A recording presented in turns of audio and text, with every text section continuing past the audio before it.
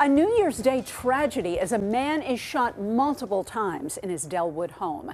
Now the major case squad is trying to find the killer. Fox 2's Kelly Hoskins looks at who this victim is and police pleas for information. Well, investigators say the tragedy all unfolded here on Schlinger Street. We're told that when officers arrived, they found the male victim shot inside of his home multiple times. Now the major case squad has been activated to try to determine what happened. It happened a little before 7 New Year's Day. Now, police identified the victim as 44 year old Keith Ursery.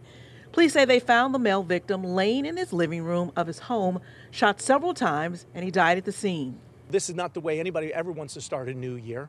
Um, this gentleman didn't want to, didn't deserve it. Um, no one does. And so, right now, this is a very active investigation. Uh, we're asking for the public's help to call us. The North County Police Cooperative asked the major case squad of Greater St. Louis to investigate Ursery's death. More than a dozen detectives are working around the clock to try and solve the murder. We can bring a lot of resources, uh, trained investigators. It becomes basically like a task force effort. Um, we bring in two dozen investigators, uh, support personnel, evidence technicians for processing the scene, um, and then they're able to really just jump right on it while it's somewhat fresh. So, um, again, we don't know where this is going to lead or where it's going to go.